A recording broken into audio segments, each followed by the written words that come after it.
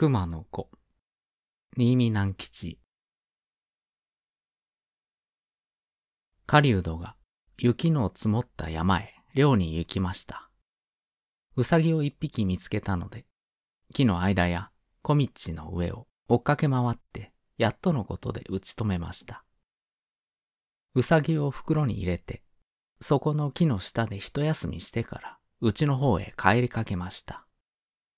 谷を一つ越して、こちらの山へ来たとき、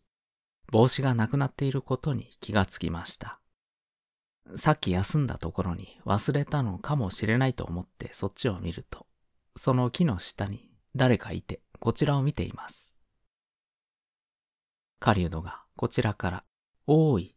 と言うと、あちらからも、おーい、と言います。狩人はそちらの方へまた戻っていきました。おーい、おーい、と呼ぶと、向こうの木の下でも、おーい、おーい、と言って手を振っています。谷を渡ってだいぶ近づいてから、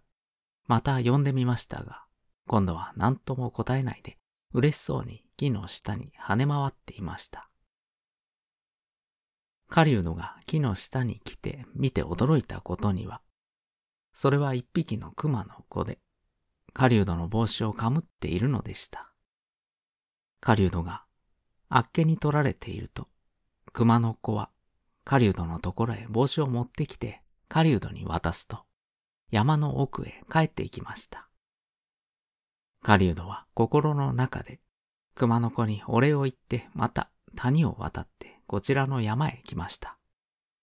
そして熊の子の行った方へ、おーいと呼んでみたら、おーい答えました。